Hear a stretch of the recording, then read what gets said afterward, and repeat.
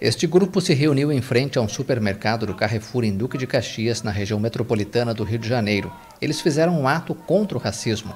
Protestos em todo o país são realizados depois do assassinato de João Alberto Silveira Freitas, um homem negro, por seguranças no supermercado Carrefour de Porto Alegre. Nós ficamos muitos anos calados, sendo oprimidos pelo Estado, por esse sistema que só nos matam, só faz nossos corpos de alvos e eles são assassinos.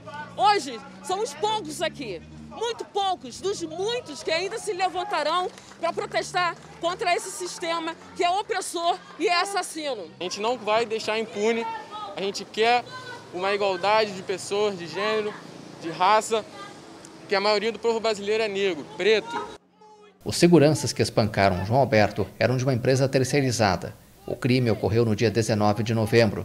Depois do caso na capital gaúcha, o Carrefour Brasil prometeu adotar uma série de medidas para combater o racismo. A rede criou um comitê independente para colocar em prática o que foi decidido. Entre outras medidas, a companhia vai estabelecer regras mais rigorosas de recrutamento e treinamento para seguranças. Uma cláusula de combate ao racismo também será inserida em todos os contratos com fornecedores, e se comprovado o fato, o seu descumprimento implicará em rompimento do contrato.